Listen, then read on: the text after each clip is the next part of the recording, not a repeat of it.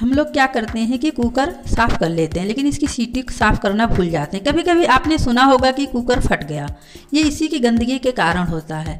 हमने दोनों सीटी में खाने वाला बेकिंग सोडा लिया है, इसके अंदर भर देंगे। अब नींबू लेंगे, इसके अंदर नींबू का रस डाल देंगे, अच्छे से निचोड़ कर अब देख रहे हैं आप, इसकी सारी गंदगी जो है झाग बनकर ऊपर आ रही है। सीटी के अंदर जितनी गंदगी होगी, बेकिंग सोडा इन्हें काट देगी और फुला देगी। नींबू डालने के बाद 10 मिनट के लिए छोड़ देंगे। उसके बाद टूथ ब्रश लेकर इसकी सफ़ाई करेंगे।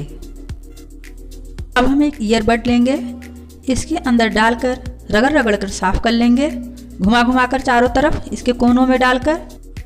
इस तरह हमने दोनों सीटी साफ़ कर लिया है। देखिए कितनी ज़्यादा गंदगी इसमें निकल रही है। अब हम इसे पानी से धुलकर साफ़ कर लेंगे। फिर यूज़ करेंगे।